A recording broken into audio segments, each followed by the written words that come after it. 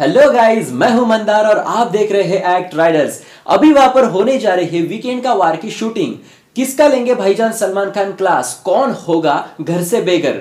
क्या वो तहसीन पूना वाला होंगे? क्या वो माहिरा होगी? क्या ये दोनों होंगे? या कोई और होगा? तो इस वीडियो में मैं आपको बताने जा रहा हूँ फाइनल वोटिंग ट्रेंड्स इस वोटिंग ट्रेंड्स के तहत कौन है सबसे ऊपर और कौन है सबसे नीचे? ये देखने के बाद आपको खुशी तो ज़रूर होगी। तो इस वीडियो को पूरा देखें। तो चलिए शुरुआत करते हैं। नंबर वन पे है सिद्धार्थ शुक्ला। चाहे कितनी भी बार इन्हें नॉमिनेट करे और नॉमिनेशन के लिस्ट में डाले, इनका नंबर नहीं चेंज होने वाला। यानी ये रहेंगे हर बार नंबर वन पे।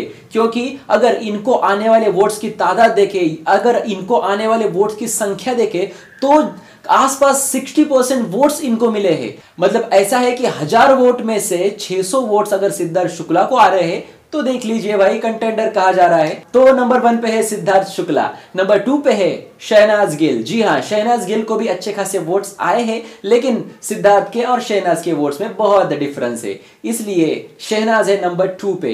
इसके बाद आता है नंबर तीन, और नंबर तीन पर अभी है पारस छाबरा। जो फाइनल वोटिंग ट्रेंड्स हमारे पास आ रहे हैं, उनके हिसाब से नंबर तीन पर है पारस छाबरा।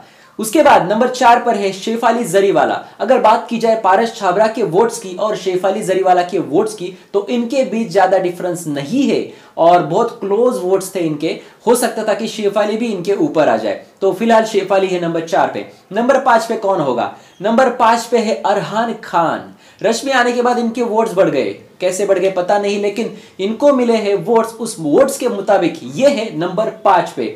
नंबर छह पर चली गई है माहिरा शर्मा। जी हाँ माहिरा, जिनको बाहर के लोग बिल्कुल भी पसंद नहीं कर रहे हैं, जो भी हरकतें, जो भी ड्रामा वो घर में कर रही है, जो भी गालियाँ, मुँह तोड़ दूँगी, पैर अलग कर दूँगी क्या क्या बोल रही है, कहाँ से लाई ये बातें पता नहीं। इन सारी चीज़ों से इनको बहुत सारे लोग हेट करते हैं।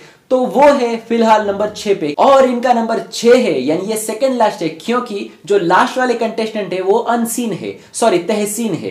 नंबर सात पे है तहसीन पूना वाला जो शो में दिखते ही नहीं। कल हमने देखा कि थोड़े से वो दिख गए थे, वहाँ पर एक शो लिया था न्यूज़ का, वो अपने आप ही तैयार किया था, और इसमें थोड़ा सा दिख गए थे। उसके बाद, शुक्ला के साथ थोड़ा सा बहस हुई थी। इसके अलावा तहसीन पूना वाला पूरे शो में कहीं पर भी नहीं दिखे। तो नंबर सात पे है तहसीन पूना वाला अगर बात की जाए तो अगर एक इविक्शन होता है तो तहसीन पूना वाला होंगे घर से बेघर। और अगर दो इविक्शन होती है तो उनके साथ जाएगी माहिरा शर्मा, सीधे अपने घर। तो क्या लगता है आपको दो इविक्शन होने चाहिए या सिंगल इविक्शन होना चाहिए? हमारे कमेंट सेक्शन में ज़रूर बताना। और अभी वहाँ पे शूटिंग शुरू हो चुकी है, भाईजान वहाँ पर आ चुके हैं। और जैसे ही बड़ी बड़ी अपडेट आएँगी किसकी क्लास होगी, क्या होगा सब कुछ, ये मैं आपको ज़रूर बताऊँगा। तो इसलिए हमारे चैनल फ़िलहाल सब्सक्राइब तो कर ही लीजिए यार। सब्सक्राइब करने के बाद आपको मिलेगा हमारे हर एक वीडियो का नोटिफिकेशन सीधे आपके मोबाइल पे। तो देखते रहिए एक्ट राइडर्स धन्यवाद।